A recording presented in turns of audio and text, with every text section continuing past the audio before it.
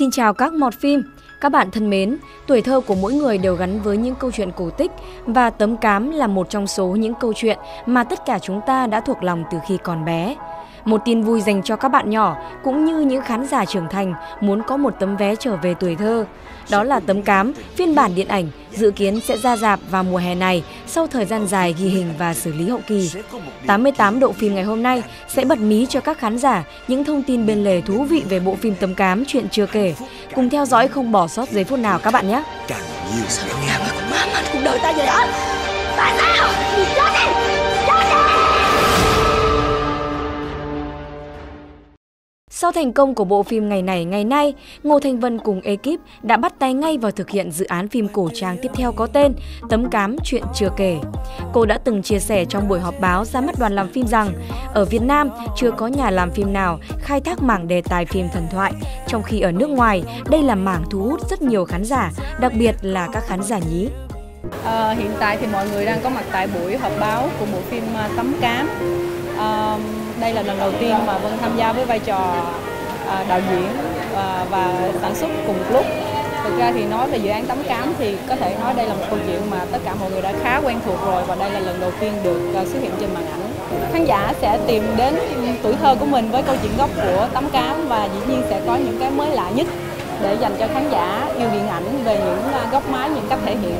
À, đây là một dự án đã tâm đắc và ấp ủ hơn một năm trời cho nên Vân Vân nghĩ rằng nó sẽ đem lại những giây phút tốt đẹp cho khán giả. Chưa bàn tới nội dung mà mới chỉ xét tới khía cạnh ý tưởng và độ đa di năng của Ngô Thanh Vân thì tấm cám chuyện chưa kể đã xứng đáng được một điểm cộng rồi đúng không nào? Tại sao? Like this. Okay. Tại sao? Tại sao?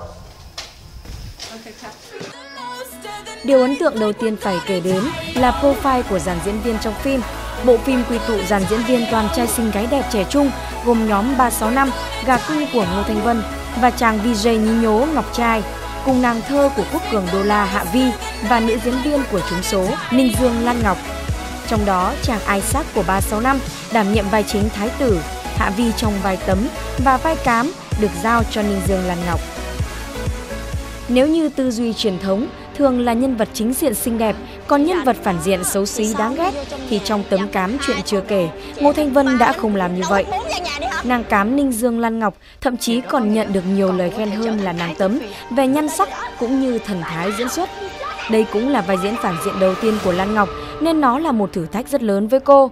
Còn đối với Hạ Vi cũng vậy, tấm là vai diễn nặng ký và là cơ hội để mỹ nữ vạn người mê khẳng định mình trong lĩnh vực điện ảnh.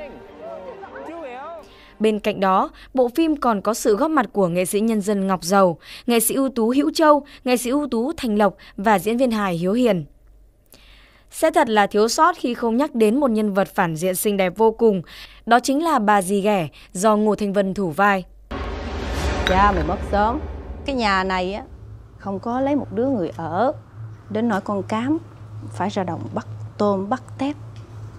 Không lẽ mày ở không?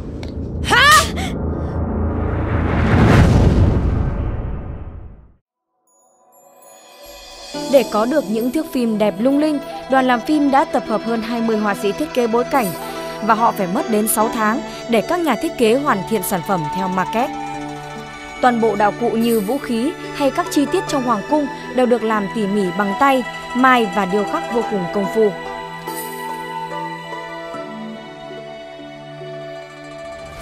26 tháng 5 à, đoàn à, đang ở à, chùa Bái Đính. Ở đây thì mình chọn cái à, sân ở ngoài chùa để mình quay cái à, cung đình của mình cho năm nay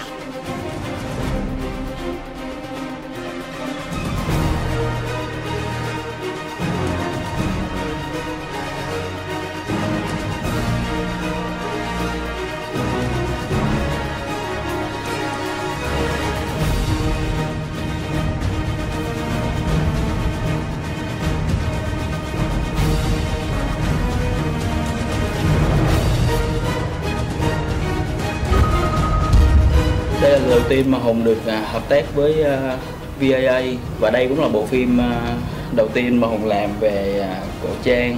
Và khó khăn làm sao mà để mình sản xuất ra được những thứ đó. Nó giống như những gì mà mình đã làm ở trên những cái bản concept giấy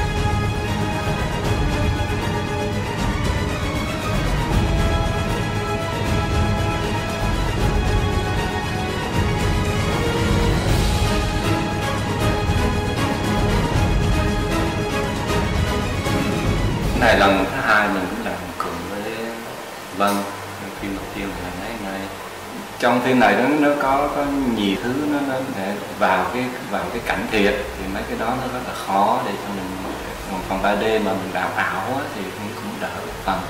Mà cái này là lúc nào nó cũng phải thực tế thì cái phần 3D nó khó. Trong 20 tỷ kinh phí làm phim, số tiền dành cho phục trang và đạo cụ chiếm phần khá lớn, đa số được thiết kế và may mới theo ý tưởng phim và kích cỡ của diễn viên. Bộ áo gấm màu vàng của Hạ Vi trên poster thực chất là nữ diễn viên đã phải mặc tới 6 lớp áo được dệt từ lụa mềm mịn tạo sự bay bổng nhẹ nhàng. Trong khi đó, thái tử xuất thân trong gia đình hoàng tộc nên được mặc trang phục đặc trưng khá nặng, dày và nhiều lớp. Ông Bụt được may riêng bộ áo trắng tinh nhiều lớp cùng bộ tóc tròm râu trắng xóa. Nếu như trang phục cho nữ rất tốn kém về mặt thiết kế, thực hiện thì trang phục cho nam lại tốn về số lượng. Chỉ tính riêng quần áo quân lính, đoàn làm phim đã may mới toàn bộ và giày dép cũng được thiết kế theo kích cỡ chân mỗi diễn viên. Để chuẩn bị cho những cảnh quay chiến đấu, Will và Isaac đã bầm dập trên phim trường và luyện tập vô cùng nghiêm túc. Họ tập làm quen với các loại vũ khí, với các màn bay lượn trên không và học cả cách thuần phục những chú ngựa. Ai cũng chăm chỉ luyện tập và cố gắng hết mình cho bộ phim được nhận định là bom tấn của hè 2016.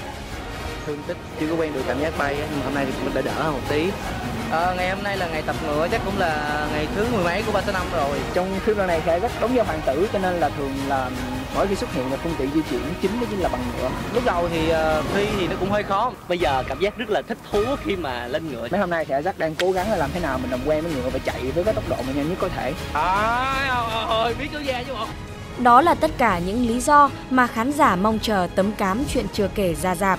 Còn bạn thì sao? Hãy cho 88 độ phim biết cảm nhận của mình về bộ phim nhé!